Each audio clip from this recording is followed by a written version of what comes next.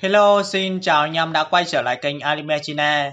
Trong tập 166 của Đấu La Đại Lục, Đường Tam sau khi được cắt tường chữa trị bệnh phát triển rất tốt, thì Đường Tam sau khi thấy nhóm sở đại khắc bị treo cột phơi và Tiểu Vũ bị Tử Chân Châu cưỡng hôn ép cưới, nên Đường Tam đã cứu toàn bộ nhóm sở đại khắc mà không cảm ơn đám hải tặc có lương tâm.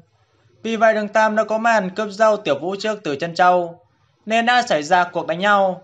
Kết quả đường Tam bắt chói từ chân châu đưa vào nhà nghỉ cùng đám sở ấy khác để trong chừng.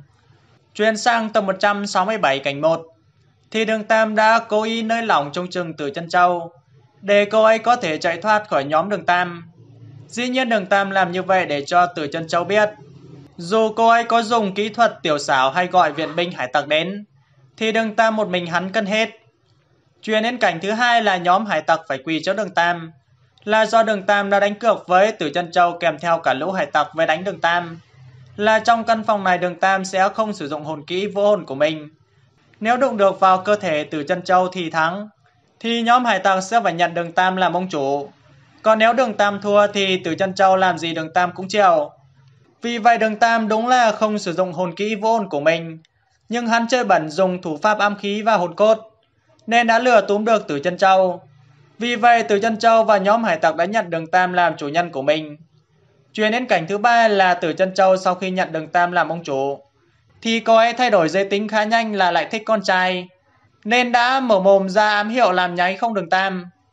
Chuyển đến cảnh thứ tư là Cát Tường kể về hắn là người trên Hải Tần Đảo, và vì không có lực mới đến Từ Chân Châu sinh sống. Vì vậy khi biết sư phụ Đường Tam của mình muốn đến Hải Tần Đảo, thì Cát Tường nói qua một số đặc điểm trên Hải Tần Đảo cho nhóm Sở Lai Khắc nghe qua là khi lên đảo sẽ không được rời khỏi hải thần đảo nếu khi đã nhập tịch, hay là mọi người sẽ nhận được khỏi của hải thần.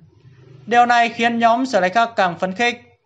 Ngoài ra thì các tường còn nói về vấn đề vượt biển đến hải thần đảo, là phải đi qua rất nhiều hồn thú gần bờ của hải thần đảo.